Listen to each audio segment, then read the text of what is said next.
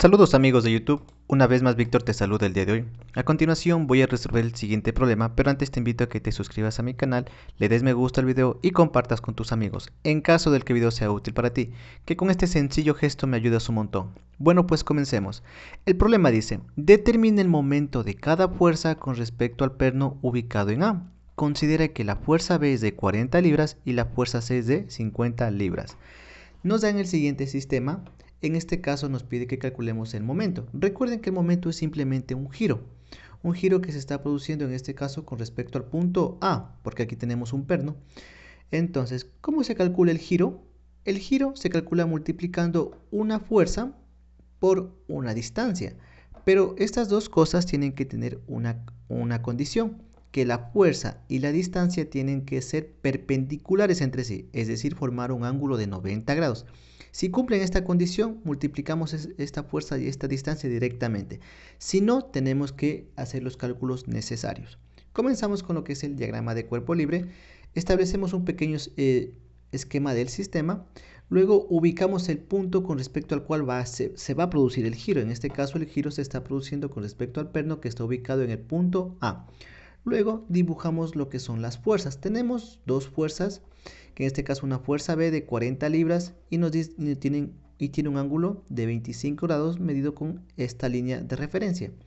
Y tenemos la fuerza C que es de 50 libras con un ángulo de 30 grados medido desde esta línea de referencia. Y finalmente dibujamos todas las distancias y ángulos que nos dan aquí. Una vez hecho todo esto, tenemos nuestro diagrama de cuerpo libre completo y podemos comenzar a trabajar. Entonces comenzamos con el desarrollo. Ahora, vamos a hacer el cálculo del momento. Vamos a hacer el cálculo de la fuerza B y C perpendicular a la barra. Recuerden, la condición es la siguiente. La distancia y la fuerza tienen que ser perpendicular. En este caso, si yo tengo una distancia de 2.5 pies, esta fuerza no es perpendicular si nos damos cuenta. Lo mismo pasa con C. Recuerden que es la distancia desde el punto hacia la fuerza. Esta distancia del punto hacia la fuerza tiene que ser perpendicular, es decir, formar un ángulo de 90 grados. Pero esta fuerza B y esta fuerza C no están haciendo esa condición. Para que sea, para que cumplan esta condición, tendrían que tener un ángulo de 90 grados, es decir, distancia aquí, fuerza aquí, 90 grados entre las dos. Ahora, si nos damos cuenta, esta distancia tendría esta dirección. Con esta dirección nosotros vamos a hacer una línea de referencia, que en este caso es la que nos dan aquí. Porque esta línea con la de acá sí es perpendicular. Aquí hay un ángulo de 90 grados. Entonces, esta línea pertenece a la distancia. Entonces la otra línea debería ser la de la fuerza. En este caso la fuerza F tendría, la fuerza B, perdón, tendría tener una componente aquí y la fuerza C también tiene que tener una componente acá. ¿Por qué? Porque si estas componentes con esta distancia son perpendiculares, es decir, forman un ángulo de 90 grados. La condición que es fundamental para poder multiplicar una fuerza por una distancia para encontrar el giro que produce. Entonces, recuerden, fuerza por distancia tienen que ser eh, perpendiculares entre sí para que produzcan un momento. Dicho esta, esta aclaración, lo que nos compete ahora es descomponer esta fuerza que ya lo vimos en el capítulo 2. Entonces, yo quiero descomponer esta fuerza B en una fuerza que esté en esta dirección. Porque cuando esté en esta dirección, yo estoy garantizando que, esta, que la fuerza sea perpendicular a la distancia. Entonces, para garantizar esta, esta condición, nos dan un ángulo, que en este caso es de 25 grados y acá es de ángulo de 30 grados. Si recordamos el capítulo 2, al multiplicar una fuerza por el coseno del ángulo, pues estaríamos encontrando, la componente de esta fuerza sobre la línea que estamos separando. En este caso, la fuerza B por el coseno de 25 grados, encontraríamos esta fuerza que está aquí. Y la fuerza C por coseno de 30 grados, encontraríamos esta fuerza que está acá. Entonces comenzamos con el desarrollo. Vamos a hacer el cálculo de la fuerza B que es perpendicular a esta distancia. Porque recuerden, la condición es que sean perpendiculares entre sí, es decir, formar un ángulo de 90 grados. Entonces aquí tengo la fuerza B que es de 40 libras por el coseno, en este caso del ángulo que separa la línea eh, perpendicular que es de 25 grados. 40 por coseno de, 25 es 36.2523 libras.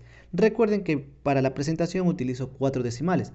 Para la fase de cálculos utilizo absolutamente todos los decimales. Esto es porque esto es una enseñanza. Sin embargo, si ustedes utilizan cuatro o tres decimales en sus cálculos, la respuesta va a variar un poco. ¿Va a existir variación? Sí, pero va a ser pequeña. Esto depende mucho de su profesor. Muy bien, ya tenemos la fuerza B perpendicular a la distancia. Ahora vamos con la fuerza C que tenemos aquí, pero que sea perpendicular, es decir, esta componente.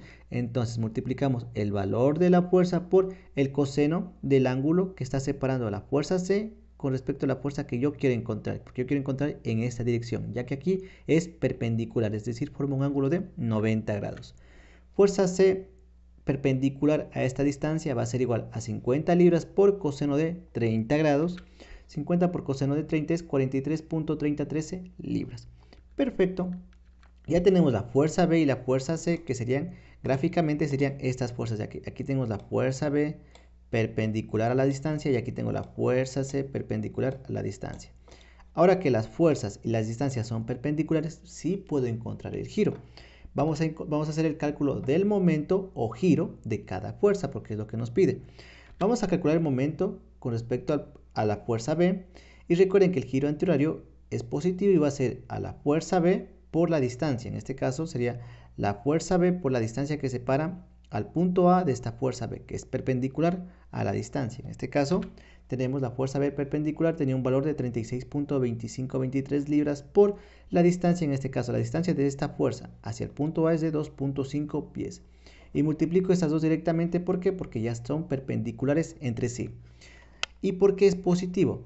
Recuerden que cuando el giro es horario, digo que el momento es negativo y si el giro es antihorario, el momento va a ser positivo. Entonces, ese es un punto con, con, respecto al cual se va a producir el giro.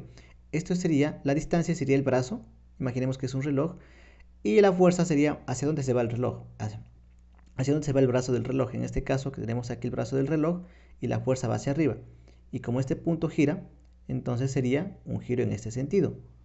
Un giro antihorario. Cuando el giro es antihorario, el momento es positivo. Por eso aquí es más fuerza por distancia. Resolviendo esto, tenemos que el momento producido por la fuerza B es de 90.6308 libras por pie. Eh, como esta es una respuesta que nos pide el libro, expresamos la respuesta con tres cifras significativas, es decir, los tres primeros números, el resto borro y redondo en el caso de que sea necesario. Con esto yo sé que el momento producido por la fuerza B es de 90.6 libras por pie y como salió positivo aquí coloco el sentido del giro. Como salió positivo significa que el giro es antihorario. Muy bien, vamos ahora con el momento producido por la fuerza C. Asimismo, por la fuerza C perpendicular a la distancia.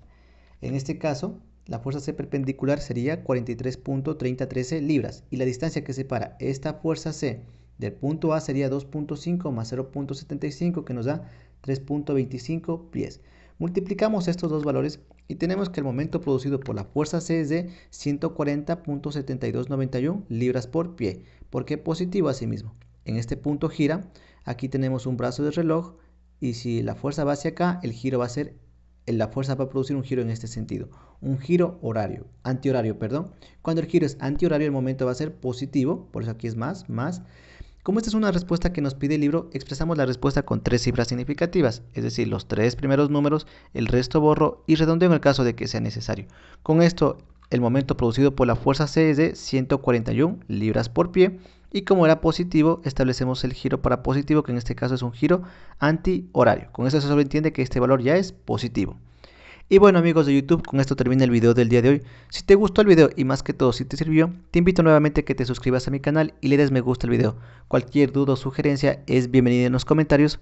Sin nada más que decir, agradezco por la atención prestada a la presente y nos veremos en un futuro video.